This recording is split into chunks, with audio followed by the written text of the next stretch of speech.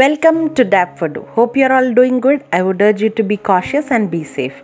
In today's video, I'll show you how to make Gajamala for the coming uh, Ganpati Chaturthi. People think that it is very difficult to make. However, it will be easy. I'll show you the method. I have collected nice amount of grass and I've cleaned it and kept it aside now here I am uh, taking a strong thread basically. Now I will fold the grass as shown in the video. And this will be the starting point.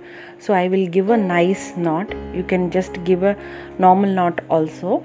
I've given a double knot to secure it at the beginning. So this will be the length of the mala so we will have to hold it on the index and thumb finger and place the grass. You can use any other flowers also and make the mala in the same way.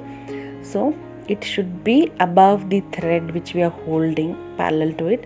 We will go the thread the weaving thread will go up and come from the bottom. So we will place it like this go from up and come in the center basically.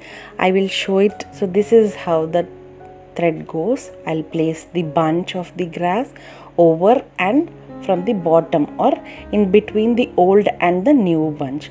Likewise I will make to the required length. Once it is done I'll place the chrysanthemum flowers the shevanti or chamanti flowers in the same way. It will be parallel or on the thread. We will go above it and bring it from between the old and the new one simple as that.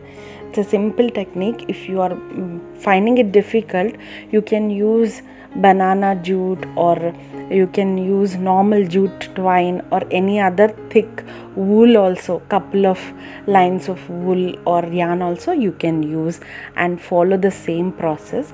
So i will make a small bunch of green grass and then 4 to 5 chrysanthemums would be enough of medium size for us to cover. Basically, the Gajamala is making a spiral holding the thread. So it will come all over and when you reach to the end, just give it a nice knot.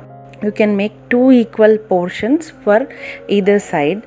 And now I am trimming the excess. The method you can follow is you can cut it to the level of the flowers which are there. So it will give a neat and beautiful finish to our gajamala just trim to the level of flowers all the grass which is excess so the mess would go away and we will have a cleaner looking bunch here so i've added roses for the center portion and this is how our small and cute gajamala is ready i've decorated it our entrance for Ganpati Bappa. So I hope you enjoyed this video. Thank you so much for watching. If you did, please like, share and subscribe. Namaste.